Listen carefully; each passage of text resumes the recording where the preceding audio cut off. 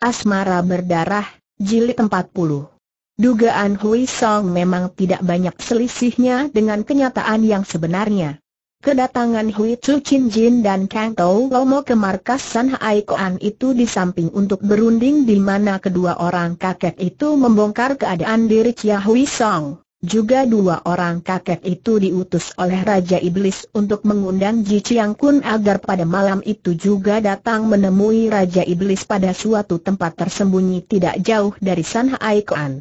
Setelah dia memanggil para perwira pembantu dan kepercayaannya, lantas memberitahu kepada mereka agar mulai saat itu juga mereka semua mengamat-amati semua gerakan gubernur itu, Ji Chiang Kun lalu berangkat naik kuda bersama dua orang tamunya. Dia tidak membawa pengawal karena memang tidak boleh sebarang orang datang menghadap Raja Iblis. Sebenarnya tadinya Mokhul juga diundang. Akan tetapi mengingat bahwa orang Mongol itu sedang dalam keadaan terluka dan tak dapat berjalan, maka yang berangkat hanyalah Ji Chiang Kun saja bersama dua orang tokoh Capsa Kui itu. Malam itu terang bulan dan tiga orang yang menunggang kuda itu berhenti pada sebuah lereng bukit. Dua orang kakek itu kemudian memberi isyarat kepada Ji Chiang Kun supaya menghentikan kuda masing-masing, lantas menambatkan kuda mereka itu pada batang pohon. Dari sini kita harus berjalan kaki dan jangan sekali-kali mengeluarkan suara, kata Hui Chu Chin Jin berbisik. Lihat saja isyarat tangan kami. Kalau berbicara sebelum ditanya, dapat mengakibatkan bencana, kata pula Kang Tao Gemo. Mendengar ucapan kedua orang kakek itu dan melihat sikap mereka seperti orang yang sangat takut, diam-diam Ji Chiang Kun bergidik. Dia sendiri belum pernah bertemu dengan Raja dan Ratu Iblis, dan dia hanya mendengar bahwa Raja Iblis adalah seorang pangeran yang bernama Toan Jitong dan bahwa tokoh ini mempunyai ilmu kepandaian yang tidak lumrah manusia dan mempunyai watak yang amat aneh dengan wibawa melebihi kaisar sendiri. Sesudah mereka berjalan kurang lebih setengah jam lamanya, menyusup-nyusup melalui semak-semak belukar, akhirnya mereka sampai di sebuah lereng terbuka dan dari jauh, di bawah sinar bulan purnama, nampaklah tembok-tembok nisan kuburan berjajar-jajar. Dua orang kakek itu berhenti memandang ke arah tanah kuburan itu dan ketika Ji Chiang Kun memandang kepada mereka, dua orang itu tanpa bicara menuding ke arah tanah kuburan itu. Di sanakah Ji Chiang Kun berbisik? SSSSTT Hui Chu Chin Jin menegur dan menaruh telunjuk ke depan mulut, lalu mengangguk membenarkan. Mereka lalu maju lagi, berjalan perlahan-lahan menghampiri tanah kuburan yang sudah nampak dari jauh itu. Pada saat mereka tiba di luar tanah pekuburan, tiba-tiba dua orang kakek itu memegang lengan Ji Chiang Kun dan memberi isyarat agar diam dan tak mengeluarkan suara, mereka hanya memandang ke depan. Panglima itu lalu ikut memandang dan matanya terbelalak, wajahnya berubah pucat. Memang amat mengerikan apa yang terlihat olehnya di tengah kuburan itu. Biarpun sinar bulan redup, namun lambat laun matanya sudah terbiasa dan dia dapat melihat dengan jelas apa yang terjadi di tengah kuburan itu. Di antara kuburan-kuburan yang nampak sudah kuno dan tak terawat, nampak dua orang yang sedang berlatih ilmu kesaktian yang sangat luar biasa. Seorang di antara mereka adalah seorang pria yang rambutnya sudah putih semua, awut-awutan dan riap-riapan, jenggot dan kumisnya pendek, tubuhnya jangkung dan wajah yang tertimpa sinar bulan itu nampak seperti topeng saja, agak kehijauan dan dingin bagaikan muka mayat. Sepasang matanya yang kehijauan mencorong laksana mata harimau. Pakaiannya yang berwarna putih dan kuning itu longgar sehingga kedodoran. Usianya sukar ditaksir berapa karena biarpun rambutnya sudah putih semua, akan tetapi wajah seperti topeng itu sukar ditaksir usianya, mungkin saja 40 atau mungkin juga 60 tahun lebih. Dan orang ini sedang duduk di atas tumpukan tengkorak-tengkorak manusia. Sedikitnya ada 50 buah tengkorak yang ditumpuk berbentuk kerucut itu dan diakini duduk bersila di atas tumpukan tengkorak itu. Baru duduk di atas tumpukan tengkorak itu saja sudah merupakan hal yang sukar dilakukan, karena tengkorak yang hanya bertumpuk-tumpuk itu tentu akan runtuh apabila di puncaknya diduduki orang. Akan tetapi kakek itu dapat duduk dengan tegak, bersila dan matanya memandang tajam ke depan. Di hadapannya, terpisah kurang lebih tiga tombak, terdapat tumpukan tengkorak lain mirip seperti yang didudukinya. Dan di atas tumpukan tengkorak kedua berdiri seorang wanita, akan tetapi berdiri dengan kepala di bawah dan kedua kaki lurus ke atas. Wanita ini pun rambutnya putih riap-riapan. Pakaian serta wajahnya sama dengan yang pria, mukanya yang ada garis-garis cantik itu nampak dingin dan kaku. Dan pakaiannya juga longgar dan kedodoran sehingga karena dia berdiri jungkir balik di atas tumpukan tengkorak, jubahnya tersingkap ke bawah dan nampak celananya yang berwarna putih. Sudah selap terdengar suara yang halus akan tetapi mengandung getaran kuat dari pria yang duduk bersila itu. Siap, Jawab wanita itu dengan tubuh yang jungkir balik itu sama sekali tidak bergoyang. Mulai kata pula yang pria. Dua orang itu kini menggerakkan sepasang tangan ke depan, dengan gerakan mendorong, dengan jari-jari tangan terbuka dan telapak tangan menghadap ke depan. Tar, terdengar suara ledakan di tengah udara antara keduanya seolah-olah ada suatu tenaga tak nampak yang saling bertemu dan beradu di udara. Dan mereka berdua melakukan adu tenaga ini berulang kali. Setiap kali tentu terdengar suara ledakan itu, akan tetapi kini setiap ledakan makin mendekati si wanita, seolah-olah tenaga yang bertemu itu kini tidak seimbang lagi dan tenaga si wanita terpukul mundur. Jagalah ini tiba-tiba si pria berseru dan kembali mereka saling dorong. Tar! Bruk! Tubuh wanita itu jungkir balik meloncat ke atas dan tumpukan tengkorak yang tadi terinjak kepalanya itu berantakan, dan ada beberapa buah tengkorak yang pecah berhamburan seperti diterjang tenaga yang luar biasa dahsyatnya. Tenagaku masih kurang kuat wanita itu menarik napas sesudah dia turun dan berdiri tak jauh dari pria yang masih duduk bersila itu. Siapa bilang? Engkau sudah kuat sekali dan hampir aku tidak tahan. Lihat ini. Dia pun melayang turun dari atas tumpukan tengkorak dan begitu menendang, tumpukan tengkorak itu berantakan dan ada empat buah tengkorak yang berada paling atas, remuk menjadi debu. Melihat pertunjukan yang seperti sulap atau sihir itu, diam-diam Ji Chiang Kun menjadi amat terkejut, ngeri dan juga gentar hatinya. Apalagi ketika tiba-tiba dua orang berambut putih itu menoleh ke arah mereka. Majulah kalian wanita itu berseru sambil menggapai dengan jari-jari tangannya yang berkuku runcing. Hui Tzu Chin Jin dan Kang Tao Lomo segera maju, sedangkan Ji Chiang Kun mengikuti dari belakang.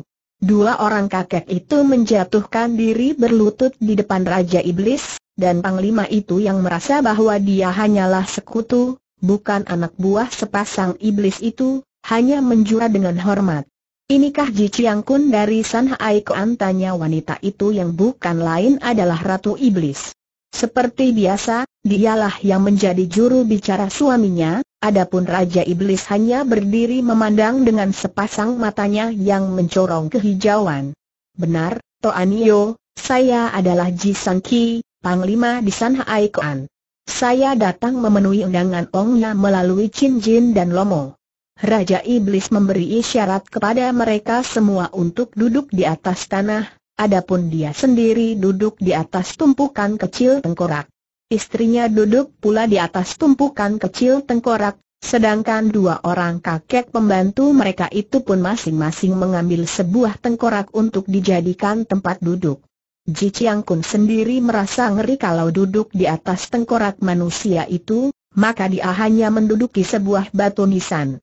Ji Chiang Kun, terdengar suara Raja Iblis. Jarang sekali dia bicara, akan tetapi agaknya sekarang dia merasa betapa pentingnya merangkul Panglima ini untuk mulai menyalakan api pemberontakan. Apakah sewaktu-waktu benteng itu dapat kita kuasai? Agak lega rasa hati Ji Chiang Kun mendengar suara Raja Iblis. Ternyata suaranya halus dan bahasanya rapi seperti biasa dipergunakan para bangsawan atau orang terpelajar. Semuanya sudah saya persiapkan, Ong, ya. Sepuluh ribu prajurit yang tergabung dalam pasukan di benteng San Hai Koan, sebagian besar dikuasai oleh para perwira pembantu saya. yang mungkin akan menentang tidak lebih dari dua tiga ribu prajurit saja yang akan mudah diatasi. Akan tetapi Kok Taijin sulit diajak berdamai dan tak mungkin mau bekerja sama. Dari dialah mungkin datangnya tentangan dan halangan. Kekuatannya tanya Raja Iblis itu tenang. Lumayan. Ada seribu orang pasukan pengawal yang akan selalu membelanya. Apalagi baru-baru ini dia memperoleh seorang pengawal pribadi yang liai, Ji Chiang pun berhenti karena pada saat itu Hui Chu Chin Jin yang melihat keraguannya menyambung. Ong, ya, Orang yang menjadi pengawal pribadi Kok Tai Jin itu sudah mengalahkan Mokul dan dia bukan lain adalah putra ketua Chin Ling Pai. Raja Iblis mengerutkan kedua alisnya sambil mengelus jenggotnya yang pendek. Hem, bukankah Bin Motu dari Cheng Tao itu sudah memberikan janjinya akan membantu, dan juga menantunya, ketua Chin Ling Pai akan membantu pula apabila waktunya sudah tiba? Apakah keluarga itu akan melanggar janji? Hamba tidak tahu, Ong, ya. Akan tetapi kita memang tidak boleh terlalu percaya kepada orang-orang seperti ketua Chin Ling Pai itu. Apalagi Bin Motu yang sudah lama mencuci tangan, tidak seperti dahulu ketika dia masih berjuluk Tung Hai Sian. Pemuda itu harus dibunuh dulu, juga kalau mungkin, secepatnya Kok Taijin yang menjadi penghalang itu harus dibunuh kata Raja Iblis kepada Ji Chiang Kun. Ji Chiang Kun mengerutkan alisnya. Maaf, Ong, ya. Saya sudah menyuruh anak buah untuk mengawasi pemuda Sicia itu. Dan kalau perlu, kiranya tidak begitu sulit membunuhnya dengan pengeroyokan. Akan tetapi saya kira tidak bijaksana kalau membunuh Kok Taijin, bahkan akibatnya bisa amat merugikan. Mengapa? Seperti yang telah saya katakan tadi, Kok Taijin mempunyai pasukan pengawal yang setia kepadanya, kurang lebih seribu orang. Kalau saya menyerangnya secara berterang, tentu seribu orang pengawal itu akan memberontak dan melawan.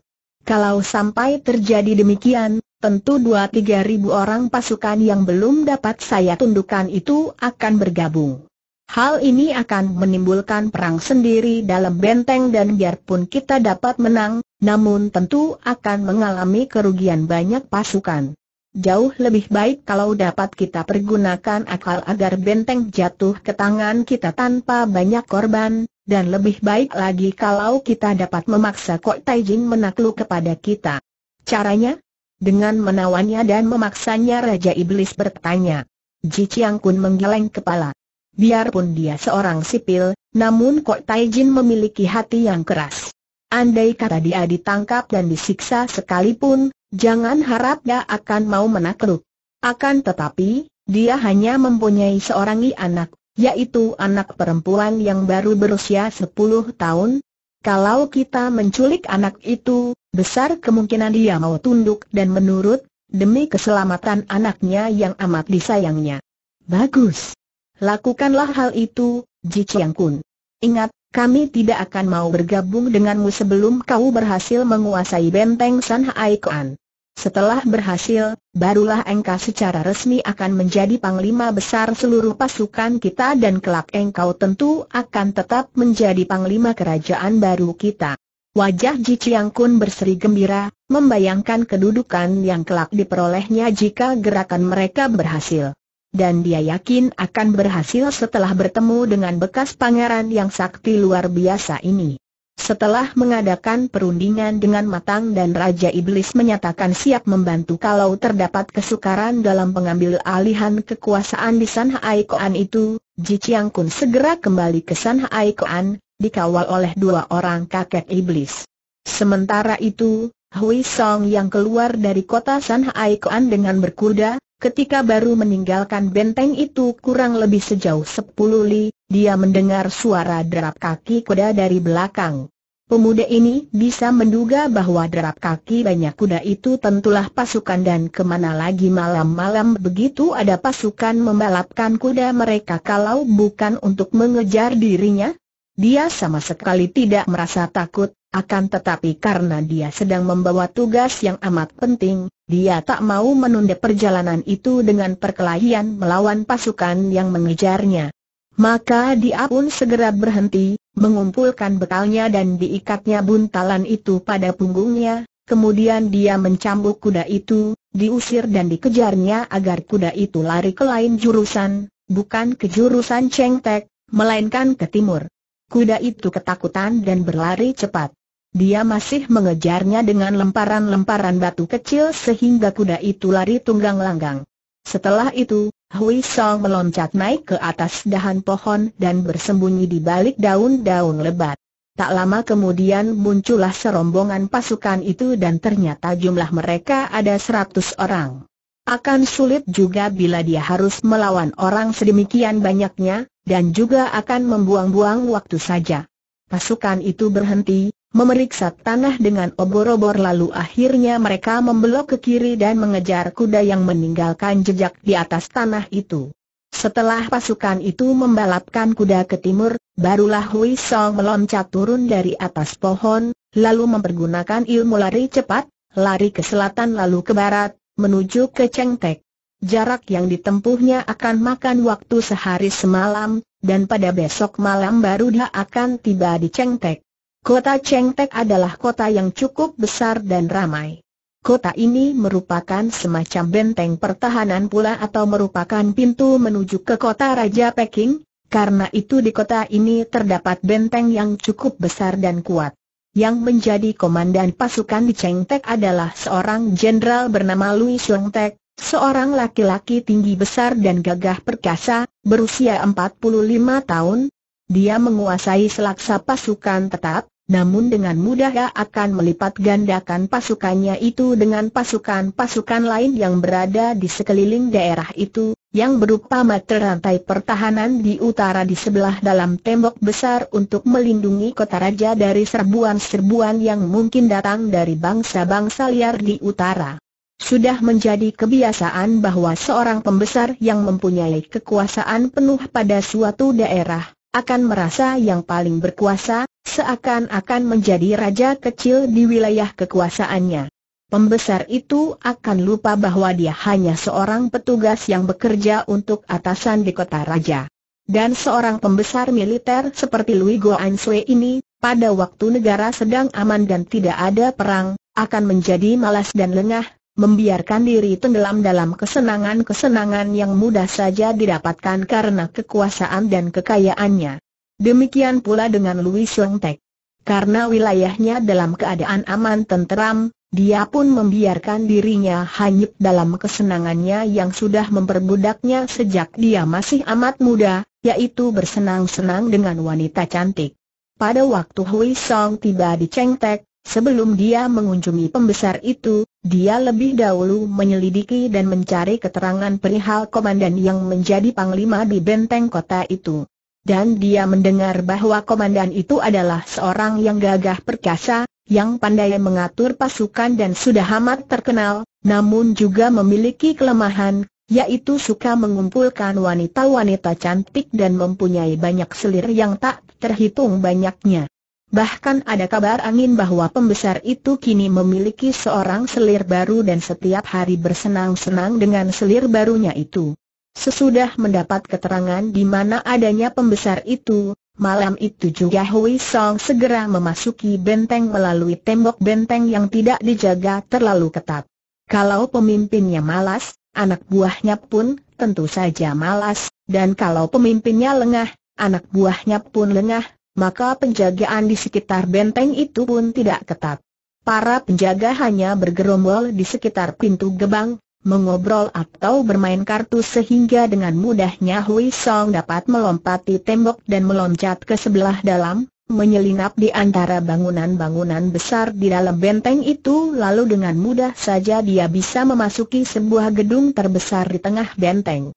Itulah gedung tempat tinggal Louis Goan Sue yang nampak sunyi saja, tanpa penjagaan di sekitar gedung, dan agaknya semua penghuninya telah tidur. Hui Song cepat menyelinap masuk ke dalam gedung itu. Tidak lama kemudian dia sudah mengintai ke dalam sebuah ruangan yang terang di mana dia mendengar suara orang bercakap-cakap. Ketika dia mengintai ke dalam, dia melihat seorang laki-laki tinggi besar dan berwajah gagah, mukanya dihias jenggot dan kumis lebat, berusia 40 tahun lebih, sedang makan minum dilayani oleh dua orang pelayan wanita muda. di depannya duduk pula seorang wanita cantik. Saat melihat wanita itu, jantung Hui Song segera berdebar keras. Dia kaget sekali karena dia mengenal baik wanita cantik ini yang bukan lain adalah Gui Xiang Hwa, wanita yang pernah memperdayainya dan nyaris membunuhnya, murid dari Raja Iblis itu. Dan ternyata bahwa pada waktu dia mengintai, mereka sudah selesai makan. Tiba-tiba wanita cantik itu bangkit berdiri dan berkata kepada dua orang pelayan wanita, bersihkan meja lalu dia menggandeng tangan pria itu dan dengan sikap manja menariknya bangkit dari kursinya. Pria itu hanya tersenyum dan Hui Song melihat bahwa keduanya hanya memakai pakaian tidur yang tipis dan longgar saja. Hui Song merasa terheran-heran melihat hadirnya gadis iblis itu di tempat itu. Karena dia tahu betapa lihainya Gui Xiang Hwa, Cepat dia meloncat dan menyelinap ke dalam sebuah kamar yang berdekatan dengan ruangan itu karena dia melihat kamar itu terbuka daun pintunya dan kosong. Kamar itu adalah tempat yang paling baik untuk bersembunyi. Sebelum dia menghadap Louis Goanswe, dia harus lebih dahulu menyelidiki apa artinya murid Raja Iblis itu berada di tempat ini. Akan tetapi dapat dibayangkan betapa kaget hatinya ketika dia mendengar suara langkah kaki dan percakapan dua orang itu menuju ke kamar di mana dia sedang bersembunyi. Celaka, pikirnya. Agaknya dia sudah salah masuk dan yang dimasukinya agaknya malah kamar tidur mereka. Tidak ada waktu lagi untuk keluar dari situ, maka jalan satu-satunya bagi Hui Song hanyalah bersembunyi dan dia pun cepat menyusup ke bawah tempat tidur. Tepat seperti yang diduganya, langkah kaki itu menuju ke kamar dan dari bawah tempat tidur, di bawah kain cilam tempat tidur itu, dia dapat melihat dua pasang kaki memasuki kamar itu, lalu daun pintu ditutup dan sambil tertawa-tawa mereka berdua langsung saja menuju ke tempat tidur. Tempat tidur itu berderit ketika tertimpa pinggul wanita itu yang sudah merangkul Seng pria dan ditariknya duduk di sampingnya. Aih, manis, mengapa engkau begini tergesa-gesa? Baru saja kita habis makan pria yang bukan lain adalah Jenderal Louis Xiong Tek itu berkata sambil tertawa saat menerima cumbuan wanita cantik yang bertubuh menggiurkan itu. Hem, siapa sih yang kepingin? Apa kau kira aku tergesa-gesa mengajakmu tidur? Tak tahu malu dengan sikap genit wanita itu mencela. Hahaha, engkau menarikku dari meja makan, lalu kini menarik-narikku ke atas tempat tidur, mau apa lagi kalau bukan? Pikiranmu memang penuh dengan urusan itu-itu saja Siang Hwa terkekeh manja dan merangkul leher pria itu. Aku tidak mau berbicara di hadapan para pelayan, Sebab itu aku tergesa-gesa mengajakmu masuk kamar. Bukan untuk itu, melainkan untuk bicara. Bicara apakah, Xiang Hwa? Engkau minta apakah? Louis Chiang Kun, benarkah, benarkah engkau cinta padaku? Jenderal itu merangkul dan menciumnya. Aih, Xiang Hwa, apakah engkau masih tidak yakin akan cintaku? Semenjak kita berjumpa di hutan itu, Ketika aku berburu dan engkau berjalan sendirian, aku sudah menyangka engkau seorang bidadari dan aku sudah jatuh cinta kepadamu.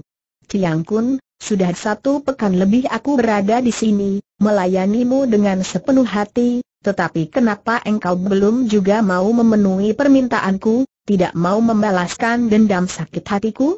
Ah ah ah, urusan itu tiba-tiba saja jenderal itu kehilangan kegembiraan dan gairahnya, lalu duduk di tepi tempat tidur. Hui Song cepat-cepat menyusup ke dalam kolong lagi, menarik kepalanya yang tadinya dia keluarkan agar dia dapat mendengar dan melihat lebih jelas, karena setelah jenderal itu duduk di tepi tempat tidur, dia akan dapat kelihatan kalau menjulurkan kepalanya. Ciang Kun, sejak kita saling jumpa dan saling mencinta, tidak ada permintaan lebih dariku kecuali yang satu itu. Louis Chiang Kun, aku sudah menyerahkan segala-galanya kepadamu, hanya untuk itu. Jenderal itu mengerutkan alisnya dan kelihatan berduka. Sayangku, mengapa justru itu yang kau minta? Mintalah yang lain. Apa pun pasti akan kupenuhi, kecuali itu. Aku adalah seorang panglima yang setia, yang semenjak zaman nenek moyangku selalu menjunjung tinggi nama serta kehormatan, mana mungkin engkau memintaku agar aku memberontak terhadap pemerintah? Hui Song kaget bukan main mendengar ini. Ahaha, dia mengerti sekarang. Tentu gadis iblis ini sedang melakukan tugasnya, dan tugas itu adalah menggoda dan membujuk Panglima Benteng Cheng Tek ini untuk bersekutu dengan para pemberontak. Kiranya Raja Iblis sudah mendengar akan kelemahan jenderal ini terhadap wanita cantik, maka menyuruh muridnya sendiri yang selain lihai juga cantik manis itu untuk menjebak Seng Jenderal dan kini Siang Hwa sedang menjalankan peranannya dengan amat baik. Mendengar ucapan Seng Jenderal, Siang Hwa membujuk-bujuk lagi. Tiang Kun, di dalam hidupku ini tiada hal lain lagi yang kuinginkan kecuali membalas dendam. Ayah bundaku, saudara-saudaraku semuanya tewas oleh pemerintah, sekeluargaku difitnah dan dihukum mati. Aku harus membalas dendam, dan satu-satunya jalan hanya memberontak terhadap pemerintah. Tiang Kun, engkau memegang kekuasaan atas puluhan ribu tentara, betapa akan mudahnya kalau engkau mau memenuhi permintaanku itu. Hus, diamlah dan jangan bicara lagi tentang hal itu, sayang. Mudah saja kau bicara begitu. Apabila bukan engkau yang bicara, tentu sudah kutangkap atau kubunuh karena kata-katamu itu berarti pemberontakan. Dan mudah saja melawan pemerintah, ya? Apa artinya bala tentara puluhan ribu kalau menghadapi bala tentara pemerintah yang ratusan ribu?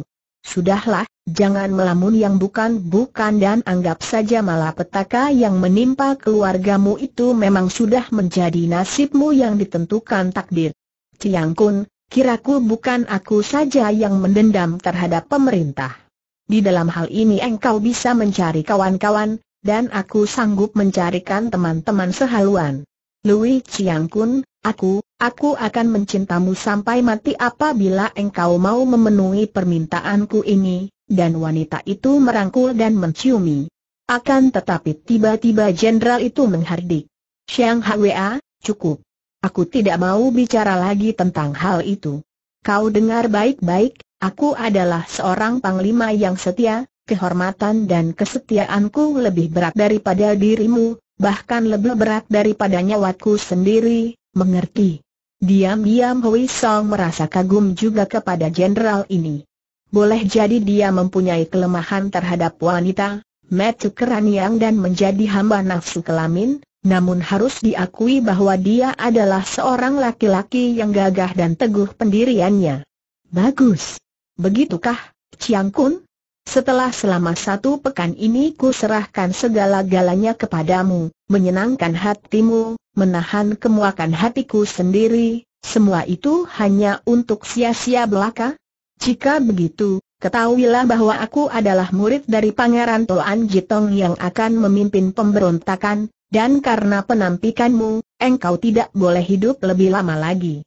Hui Song terkejut bukan main dan seperti kilat cepatnya dia sudah menerobos keluar dari dalam kolong tempat tidur. Namun terlambat. Dia mendengar jenderal itu memekik keras dan tubuh yang tinggi besar itu lalu terguling roboh di atas lantai tanpa nyawa lagi karena jari-jari tangan gadis iblis itu telah menusuk pelipisnya.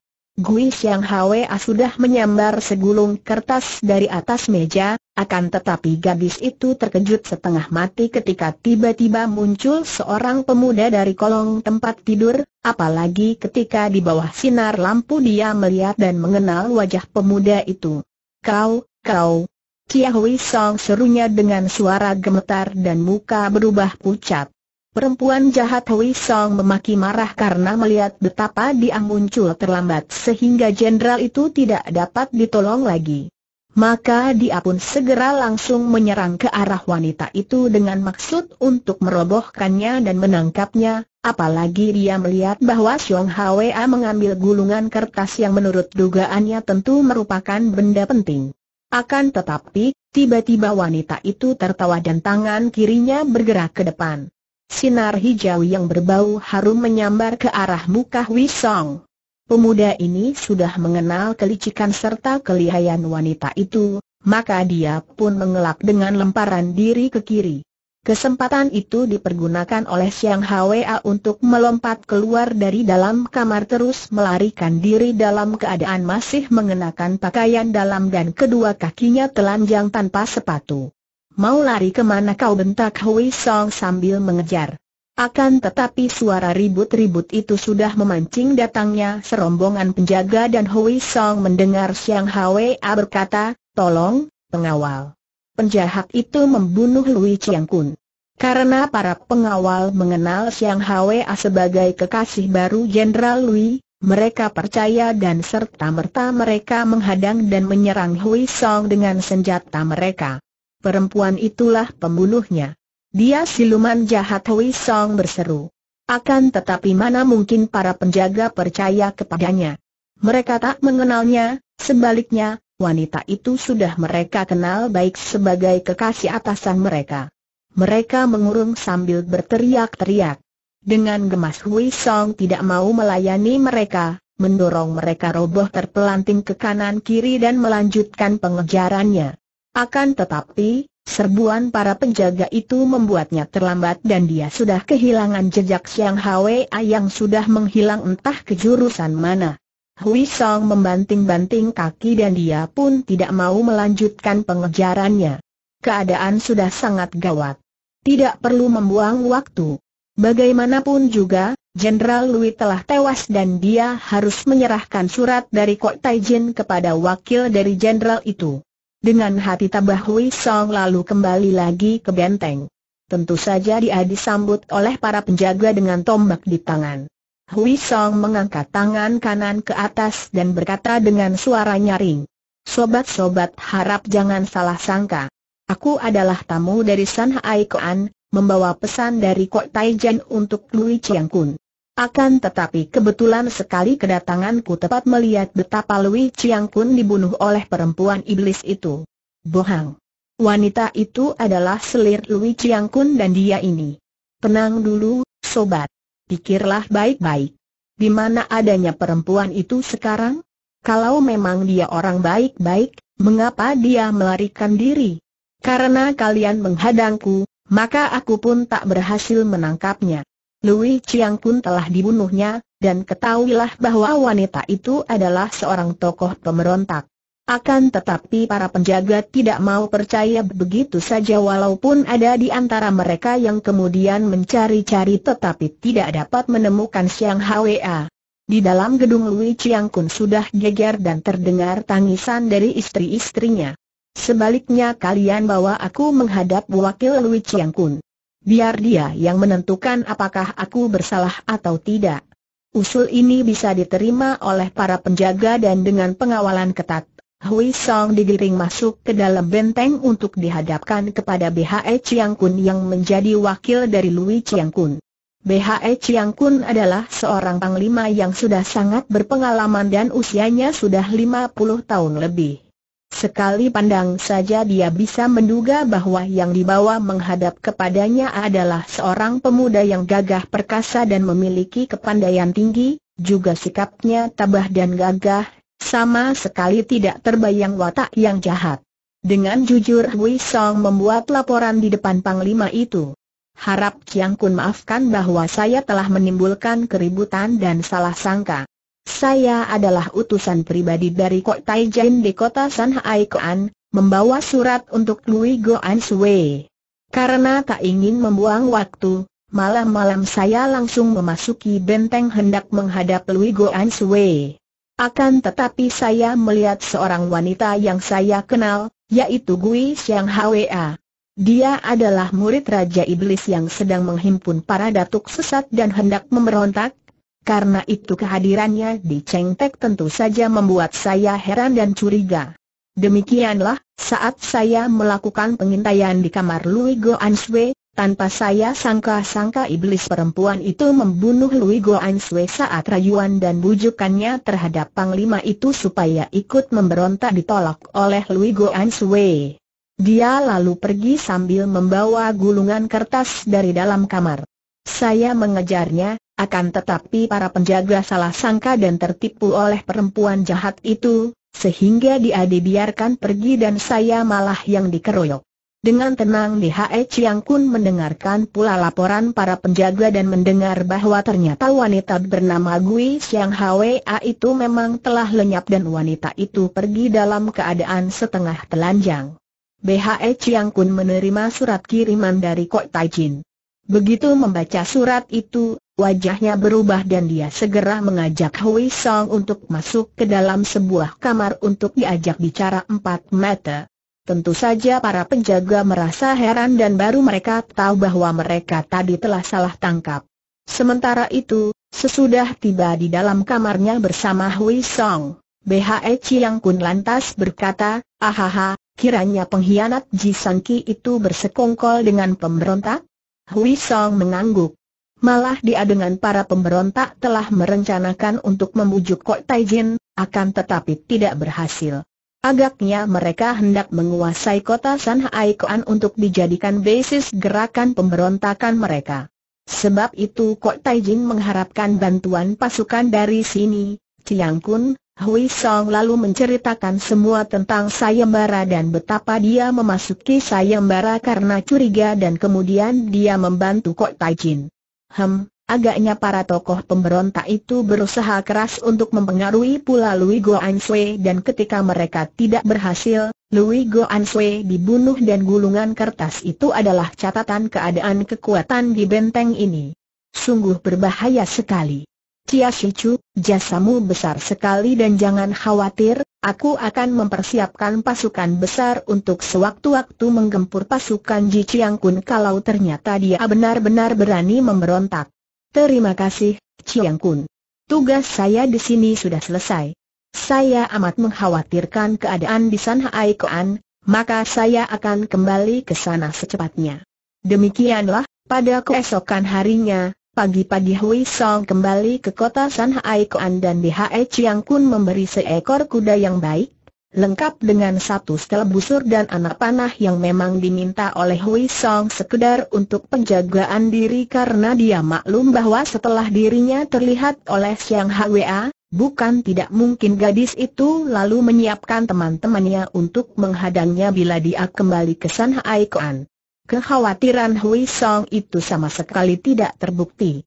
Dia tidak tahu bahwa pada saat itu, Xiang Hwa beserta kawan-kawannya sedang sibuk untuk suatu urusan yang lebih penting lagi, yaitu persiapan untuk menguasai benteng San Hai Koan. Hal ini terjadi di luar dugaan dan perhitungan Hui Song.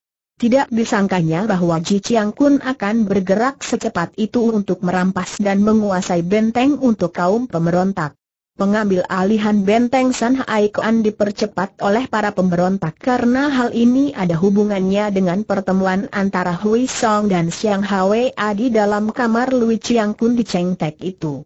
Setelah bertemu dengan Hui Song dia menyampaikan berita ini secepatnya kepada gurunya, maka Raja Iblis segera minta kepada Ji Chiang Kun untuk bergerak pada hari itu juga. Raja Iblis telah dapat menduga bahwa munculnya Chia Hui Song di Cheng Te itu tentu ada hubungannya dengan Kok Tai Jin, bahkan dia hampir yakin bahwa pemuda yang menjadi pengawal pribadi Kok Tai Jin itu tentu menjadi utusan Gubernur San Hai Koan untuk minta bantuan kepada Benteng Cheng Tek. Karena desakan yang mendadak ini, Ji Chiang Kun menjadi sibuk. Dia belum melaksanakan rencananya menculik Kok Hui Lin, anak perempuan dari Kok Taijan itu. Karena desakan Raja Iblis, sekarang mau tidak mau dia harus mempergunakan kekerasan. Demikianlah, pada hari itu juga dia mengerahkan pasukannya untuk mengepung gedung Kok Taijin. Gubernur ini yang sudah siap siaga menghadapi segala kemungkinan, segera mengumpulkan para pengawalnya. Pasukan pengawal yang berada di luar gedung segera berkumpul dan menjaga rumah majikan mereka dengan ketat. Ji Chiang Kun masih hendak mempergunakan bujukan. Setelah gedung dikepung, lebih dulu dia mengirimkan pesan kepada gubernur itu melalui para pengawal, agar sang gubernur menyerah saja daripada harus diserbu dengan kekerasan. Namun gubernur Kok malah membalas dengan makian dan semua pengawalnya juga siap untuk melindunginya. Maka terjadilah penyerbuan yang dilakukan oleh pasukan Ji Chiang Kun. Akan tetapi, para pengawal cepat melakukan perlawanan dengan gagah perkasa sehingga jatuhlah banyak korban di antara kedua pihak. Sampai seharian lamanya gedung Kok Taijin masih dapat dipertahankan oleh para pengawal meskipun jumlah mereka telah banyak berkurang dan gedung itu masih tetap dikurung. Dalam keadaan seperti itulah Hui Song muncul. Dari para penghuni San Hai Koan yang lari mengungsi keluar kota, dia mendengar akan terjadinya pertempuran antara pasukan Ji Chiang Kun dengan para pengawal Kok Taijin dan bahwa gedung gubernur telah dikepung pasukan Ji Chiang Kun. Maka dia pun membalapkan kudanya dan pada saat dia memasuki pintu gerbang kota benteng itu, keadaan masih kacau balau. Hui Song tidak peduli dan terus membedal kudanya menuju ke gedung gubernur Kok. Dia menerjang semua prajurit yang berani menghalanginya. Ketika para pengawal gubernur Kok mengenalnya, mereka lalu membukakan pintu dan membiarkan Hui Song memasuki pintu gerbang yang mereka jaga ketat. Sedih juga hati Hui Song melihat betapa mayat para pengawal sudah bertumpuk-tumpuk dan berserakan, dan betapa besar jumlah pasukan Panglima Ji yang mengepung rumah gedung itu. Melihat perbandingan jumlah kedua pasukan, jelas bahwa tak mungkin pihak gubernur akan dapat bertahan lebih lama lagi. Dia cepat menghadap Kok Taijin yang berkumpul di ruangan dalam bersama keluarganya. Keluarga gubernur itu telah menangis dan nampak ketakutan, hanya sang gubernur yang masih bersikap tenang dan tabah, walaupun wajahnya juga pucat sekali. Cia Sicu gubernur itu girang sekali melihat Hui Song dan merangkulnya. Ah, engkau dapat datang juga? Bagaimana dengan tugasmu? Dengan singkat dan cepat Hui Song menceritakan pengalamannya, bahwa BHE Chiang Kun di Cheng Tek sudah menyanggupi untuk mengirim pasukan. Akan tetapi dia menambahkan bahwa dia dan mereka yang berada di kota Cheng Tek sama sekali tidak menduga bahwa pengkhianat Ji Sanki akan bertindak sedemikian cepatnya, sehingga tentu saja bantuan dari Cheng Tek tidak dapat diharapkan akan datang hari ini. Mendengar ini, Seng Gubernur menarik napas panjang dan menjatuhkan diri di atas kursi dengan lemas. Para keluarga wanita semakin keras menangis ketika mendengar bahwa tidak ada harapan datangnya pertolongan. Diam. Jangan menangis lagi bentak sang gubernur. Suara tangisan itu membuat dia semakin bingung. Kemudian dia menoleh kepada Hui Song dan berkata, biarlah, kalau mereka terlambat datang, aku sendiri akan memimpin semua pengawalku dan melakukan perlawanan sampai titik darah terakhir. Taijin, saya mempunyai usul. Bagaimana kalau Taijin menyelamatkan diri keluar dari kota San Koan? Biarlah saya yang akan mengawal Taijin menyelamatkan diri, dibantu oleh pasukan pengawal. Gubernur itu menggelengkan kepalanya. Hal itu tidak ada gunanya, si Chu. Mana mungkin menyelamatkan seluruh keluarga yang begini besar keluar dengan selamat? Dan engkau tentu akan repot sekali, tidak mungkin dapat melindungi kami semua. Lagi pula, sebagai seorang gubernur, mana aku ada muka untuk melarikan diri ketakutan seperti anjing mau disembelih. Tidak, aku akan tetap bersama keluargaku di sini, akan kuhadapi semuanya dengan tabah. Masih jauh lebih baik aku tewas sebagai seorang pejabat yang membela kehormatannya sampai akhir daripada harus lari terbirit-birit ketakutan. Hanya ada satu permintaanku kepadamu, Sicu.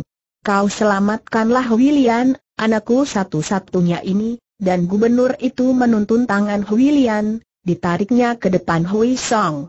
Hui Song yang baru beberapa hari lamanya berdekatan dengan gubernur itu, sudah dapat mengenal wataknya yang gagah dan teguh, maka dia pun tahu bahwa berbantahan tidak akan ada gunanya. Selain itu, dia pun menyaksikan apakah dia dan para pengawalnya akan berhasil jika hendak menyelamatkan gubernur itu sekeluarganya sebab pihak musuh terlalu banyak. Jika kereta yang membawa gubernur itu dihujani anak panah, bagaimana pula dia akan dapat melindungi mereka? Berbeda halnya bila hanya menyelamatkan satu orang saja, apalagi yang bertubuh kecil seperti anak perempuan ini dan dia pun tahu akan hati seorang ayah seperti Gubernur Kok, yang lebih senang melihat puterinya selamat daripada dirinya sendiri. Baik, Taijin, Akan saya coba untuk menyelamatkan adik ini, katanya sambil memegang tangan anak perempuan itu. Anak itu tak nampak ketakutan karena agaknya dia belum mengerti benar apa sebetulnya yang sedang terjadi. Rambutnya yang hitam diikat menjadi dua di atas kepalanya, seperti sepasang sayap burung saja dan dia memakai pita merah. Dia tersenyum saat tangannya digandeng Hui Song yang biarpun belum dikenalnya benar, akan tetapi agaknya dia tahu bahwa orang ini adalah sahabat ayahnya.